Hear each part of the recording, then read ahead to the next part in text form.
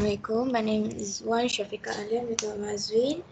So this is the result for my lab test. So this is the ladder diagram. So um, as we can see, uh, this is the first rung. So this is uh, what I call the latching circuit. So I'm going to run this ladder diagram. Alright, so uh, we have four sensors, the high level for storage tank and the feeder tank, and also the low level for the storage tank and the feeder tank. So uh, this is the start button. So I'm gonna start the cycle. So um, this is the low level sensor. Sorry, the two is typo here. So the low level um, sensor. So whenever one of the low level sensor is turned on or is detected here, like here or here, so the inlet valve will be on, will be automatically on. So I'm going to show this. For example, this one. So it will be on. Alright.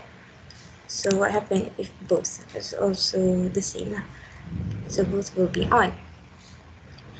And so this is the high level sensor.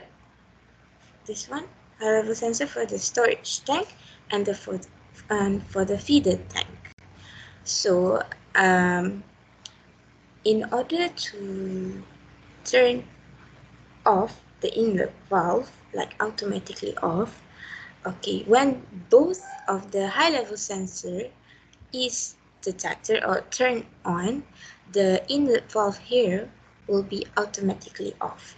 So I'm gonna show this.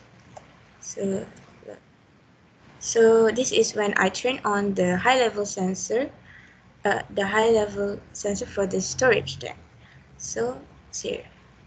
So and the inlet valve is still on. So I'm on the high level sensor for the feeder tank. So both high level sensor is turned on, so the inlet valve will be automatically off. So uh, what happened to the outlet valve? So the outlet valve is semi-automatic and it will be only uh, it will only can be controlled um, whenever the high level uh, when both high level sensor is turned on. So basically I can control it with off it here. So this is on. So this is when I turn it off the outlet level is depends because it's semi-automated. But it only can be controlled whenever both high level sensor is turned on.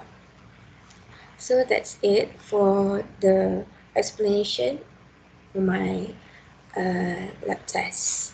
Alright thank you